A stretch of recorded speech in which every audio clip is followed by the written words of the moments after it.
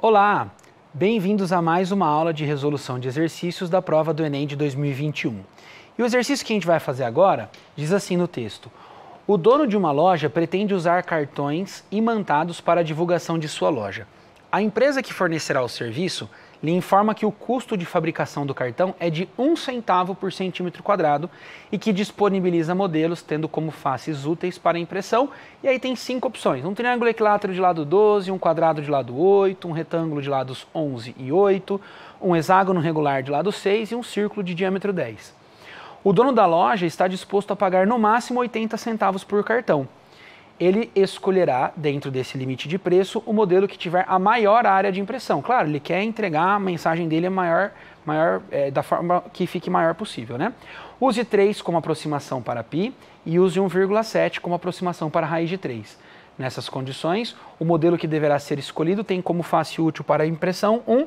Em outras palavras, dessas opções que nos foram dadas, qual deles tem a maior área? Lembrando que isso é a cara do Enem tem uma regra ali que não pode ser quebrada. Ele só quer gastar no máximo 80 centavos. Então, aquele que tiver um custo maior de 80 centavos para ser produzido tem que sair da lista. Ele, mesmo que ele tiver a maior área, ele está desclassificado. Entre os que ficarem, eu escolho o que tiver a maior área, tá? Tem que tomar cuidado, às vezes ali no calor do momento na prova, a gente passa batido na regra do, do limite de preço, tá? Então aqui, então aqui as áreas que eu vou ter que calcular.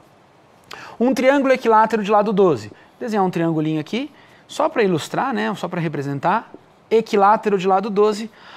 O triângulo equilátero, a área dele pode ser calculada por meio de uma fórmula que compensa muito saber essa fórmula, tá? Então, até para você que não é tão bom em decorar ela, vamos treinar junto. A área de um triângulo equilátero é calculado fazendo o seu lado ao quadrado multiplicado por raiz de 3 e dividido por 4. Essa é a fórmula, tudo bem? É muito importante saber ela. Então, a área desse triângulo vai ser 12 elevado ao quadrado, raiz de 3 dividido por 4. O 12 elevado ao quadrado, ele dá é, 144. 144. O raiz de 3 ele pediu para usar 1,7 dividido por 4. Resolvendo essa continha, a gente chega em 61,2 centímetros quadrados de área para o ímã feito com este formato. Lembra que era um centavo por centímetro quadrado? Lá o fornecedor já tinha falado isso, ó, é um centavo por cada centímetro quadrado?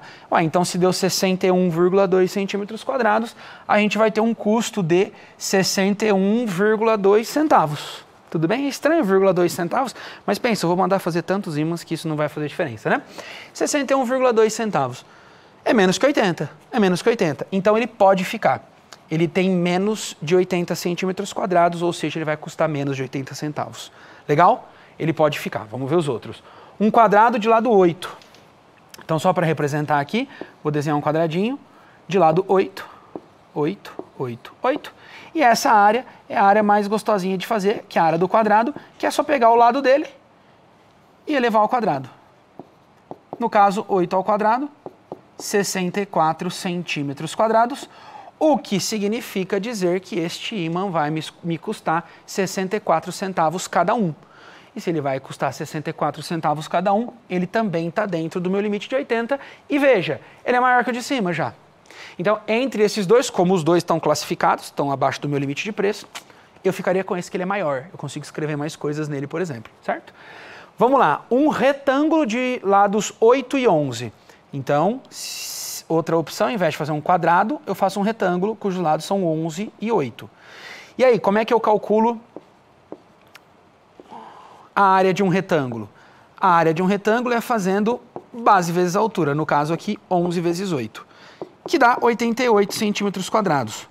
Oba, um com a maior área que todos. É, mas se ele tem área de 88 centímetros quadrados, ele tem um custo de produção de 88 centavos que é um centavo cada centímetro quadrado. Ele, ele extrapola, ele está desclassificado, perdão. Ele está desclassificado. Eu não posso considerar essa como uma opção, certo? Então, embora ele tenha uma área maior, ele está fora, ele não vai ser escolhido. Um hexágono regular de lado 6.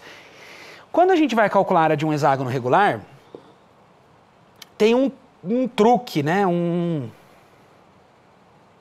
uma providência que a gente toma aqui, que é muito útil na hora de calcular a área de um hexágono regular de lado 6.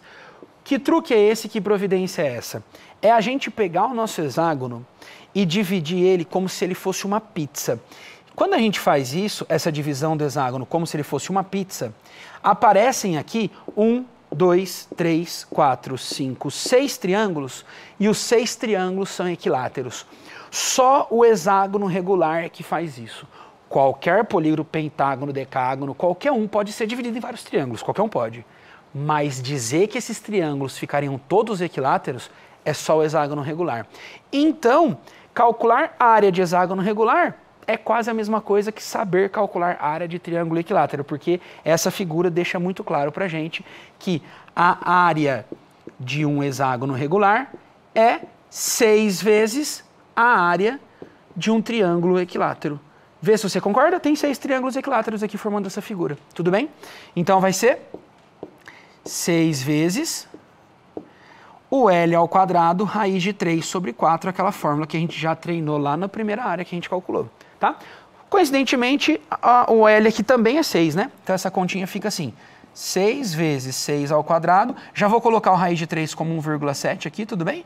Dividido por 4. Ó, 6 ao quadrado é 36, dá para pegar o 4 aqui e cortar, fica só 9 lá em cima, tá? 6 vezes 9 vezes 1,7 dá 91,8 centímetros quadrados. O que provoca um custo maior do que 80 centavos também, porque vai custar 91,8 centavos esse imã, então ele está fora, eu não posso escolhê-lo. E aí, por último, a gente tem uma opção que é um círculo de diâmetro 10. Então vamos lá. Se a gente tem um círculo de diâmetro 10, significa que a gente tem um círculo de raio igual a 5, tá? E o raio do círculo, valer 5, significa que a área dele vai ser calculada assim, ó. Área de círculo é π vezes 5 ao quadrado. Lembra? π vezes o raio ao quadrado. O π ele pediu para usar 3 mesmo, o raio, o 5 ao quadrado é 25 e 3 vezes 25 é 75 centímetros quadrados. O que indica que o seu custo será de 75 centavos e, portanto, menos que 80 centavos, então é uma opção. Legal? Então eu eliminei duas das opções, fiquei com outras três e, obviamente, entre as três que eu fiquei, eu quero aquela que seja maior, que cabe mais informações ali no meu imã, no meu, na minha propaganda, na minha divulgação. E das três, a que fica maior é o círculo. Então vamos lá e vamos ajudar ele a escolher. A alternativa correta aqui seria escolher o círculo entre as que ficam com o valor de menos de 80 centavos, é aquela que tem a maior área. Legal? Era isso que eu nem esperava da gente e a gente se vê nos próximos exercícios.